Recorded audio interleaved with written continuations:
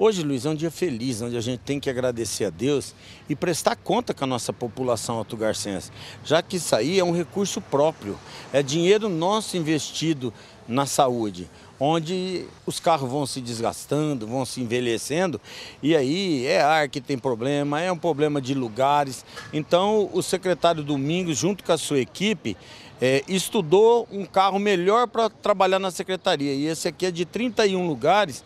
E aí a população hoje que se desloca para a cidade de Rondonópolis ou é Cuiabá, qualquer que seja, vai viajar com qualidade, o motorista vai ter mais segurança, porque é um carro zero.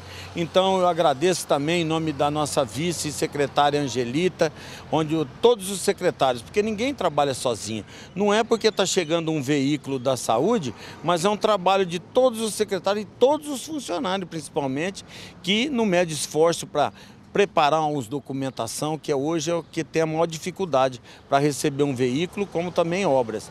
Então tá aí, isso é um presente para a população e obrigação nossa mesmo de fazer o melhor sempre. Então a gente tem que prestar conta, porque é dinheiro público, e dinheiro público tem que ser gasto com o povo. É hoje mais um dia de alegria para nós como gestores do município, né?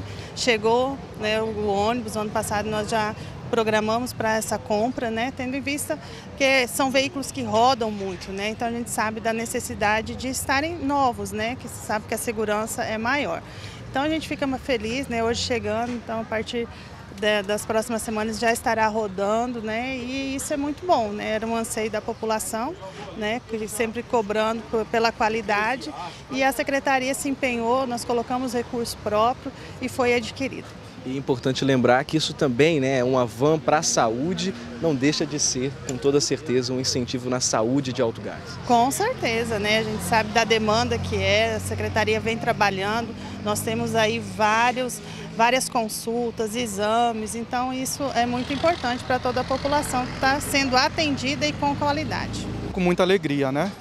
É, que nós conseguimos adquirir esse veículo e para atender a população, né?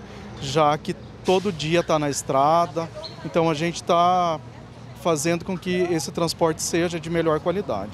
Hoje o município de Alto Garças conta com quantos veículos para fazer né, esse transporte de pacientes aqui no nosso município? Atualmente nós temos três micro-ônibus né, que fazem o transporte desses pacientes. Esse também não deixa de ser, secretário, um investimento na saúde do nosso município, trazendo mais qualidade de vida para aquelas pessoas que precisam se deslocar aqui do nosso município.